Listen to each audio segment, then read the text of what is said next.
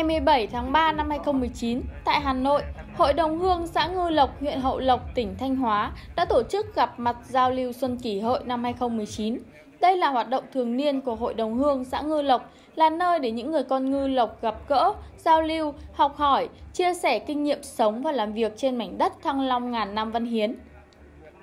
Tại buổi gặp mặt đầu xuân, Hội đồng Hương xã Ngư Lộc tại Hà Nội đã báo cáo tổng kết hoạt động năm 2018 và phương hướng nhiệm vụ năm 2019. Theo đó, trong năm 2018, Hội đồng Hương xã Ngư Lộc luôn là cầu nối, gắn kết bà con ngư lộc đang công tác, sinh sống tại Hà Nội với quê hương, động viên hỗ trợ lẫn nhau trong công tác, học tập, cuộc sống và hướng về quê hương bằng nhiều việc làm thiết thực, Đồng thời, Hội đồng Hương xã Ngư Lộc đã thông qua báo cáo sửa đổi bổ sung bản quy ước và kiện toàn lại ban liên lạc, báo cáo tình hình thu chi quỹ hội năm 2018. Hội năm 2018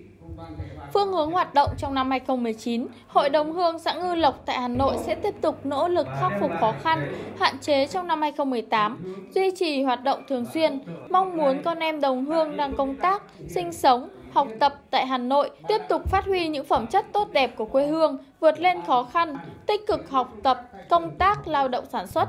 Ban liên lạc Hội đồng Hương xã Ngư Lộc tại Hà Nội sẽ tiếp tục là cầu nối những người con xa quê với đảng bộ, chính quyền và nhân dân trong xã, đoàn kết, gắn bó, quan tâm giúp nhau vượt lên khó khăn, xây dựng cuộc sống ấm no, hạnh phúc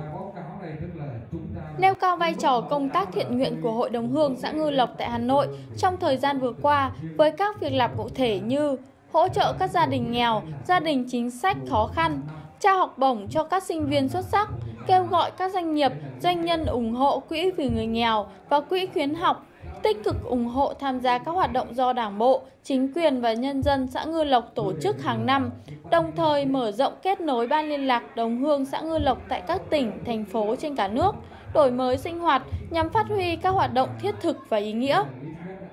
Tại buổi gặp mặt, ông Nguyễn Văn Cảnh, đại diện Ban liên lạc Hội đồng Hương xã Ngư Lộc tại Hà Nội đã tuyên dương và trao quà cho các tập thể, cá nhân có thành tích xuất sắc, gồm đội bóng FC Duyên Phố, vô địch giải bóng đá Hội đồng Hương huyện Hậu Lộc, thành phố Hà Nội lần thứ 5.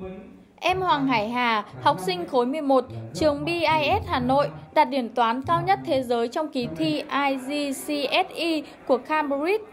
Em Hoàng Thu Nga, học sinh trường Trung học phổ thông Đào Duy Từ, đạt huy chương bạc đề tài chạm quan trắc môi trường di động tại triển lãm sáng chế và phát minh quốc tế tổ chức tại Malaysia và trao quà mừng thọ cho 9 hội viên cao tuổi của Hội đồng Hương xã Ngư Lộc tại Hà Nội.